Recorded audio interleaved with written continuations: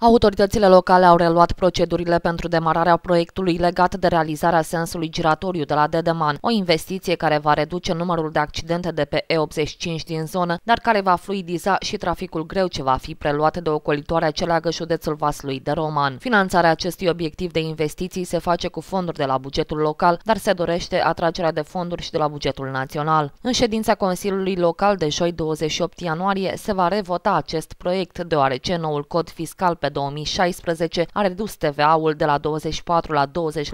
și este necesară actualizarea devizului general al investiției. De la Direcția Tehnică vă informez, um, care și monitorizează lucrările pe flux, dar suntem gata și cu sensul giratoriu de la Poarta Nord,